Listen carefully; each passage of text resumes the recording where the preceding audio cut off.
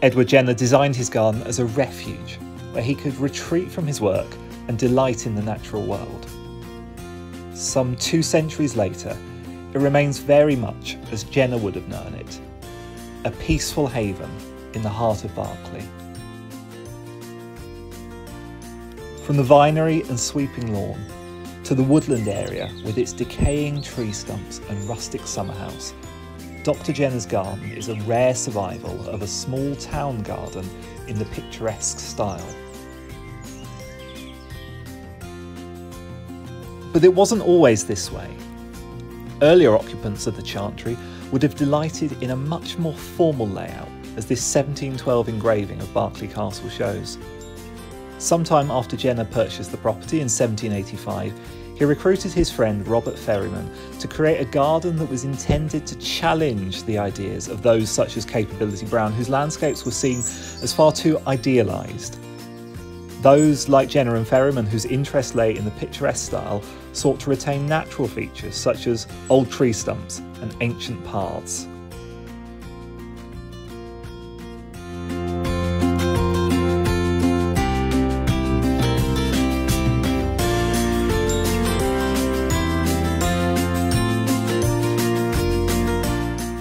Jenner had a lifelong fascination with gardens and horticulture. Long before his work on vaccination, on 5th of June 1787, he wrote to the renowned naturalist and botanist Joseph Banks with an account of various experiments involving the use of human blood as a fertiliser.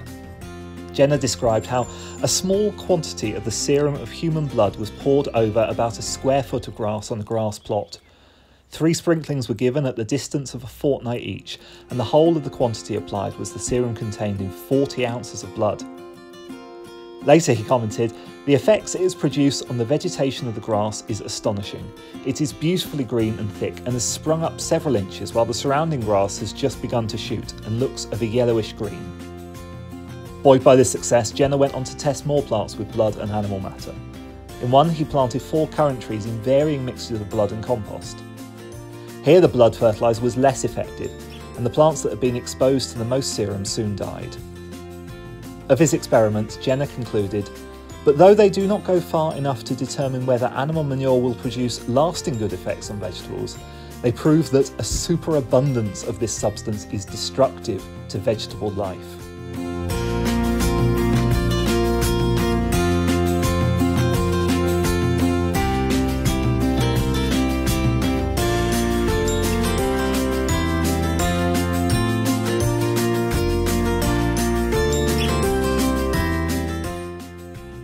Upon arriving at the Chantry, one of Jenner's first priorities may well have been to establish a herb garden. Like most medics of his time, Jenner would have used herbs as part of his daily treatment of patients. And our physic garden shows just some of the plants he may well have used. Meadowsweet, lungwort, heartsease, lady's mantle, and speedwell sit alongside more commonly known ones such as thyme, marjoram, chives, and rosemary. Jenner also invested a huge amount of time in developing a productive garden to feed his household, and he particularly enjoyed unusual plants, trading transparent apples and white strawberries with his friends. His letters regularly contain news of his latest horticultural successes, such as a gooseberry weighing five drachms.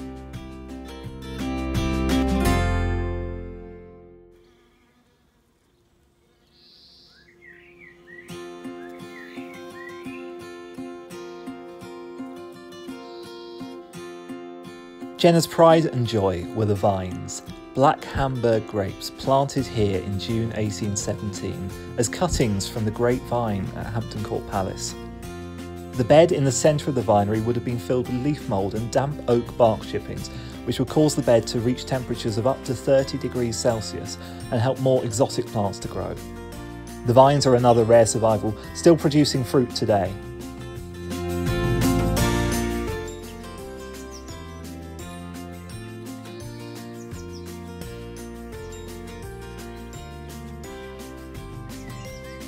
Alongside rustic features such as an irregular primrose tump and an agreeable lawn, Jenner's garden would have been full of all manner of unusual species, many collected by Ferryman. Jenner's letters talk of a promise of garden seeds from the south of Spain and from Genoa.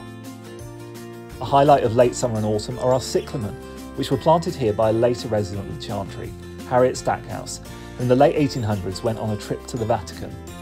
There, in the papal gardens, she spied some particularly attractive specimens and secreted a few corms in her umbrella, right under the nose of the Swiss Guard. At this time of the year, the same area in the shadow of the 200 year old plane tree is home to the remnants of pungent wild garlic.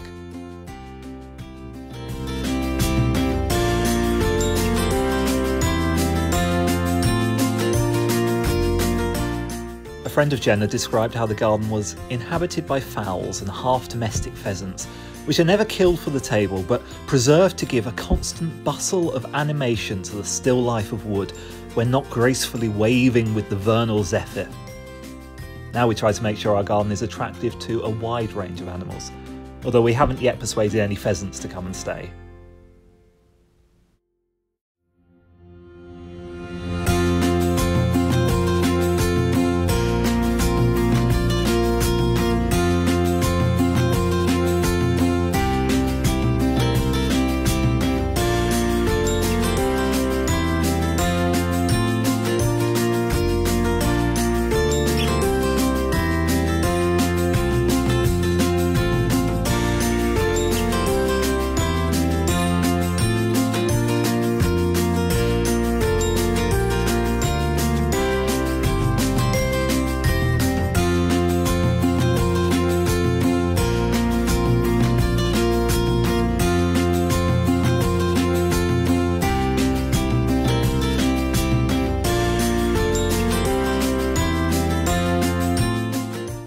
Even the natural garden requires a significant amount of care and attention.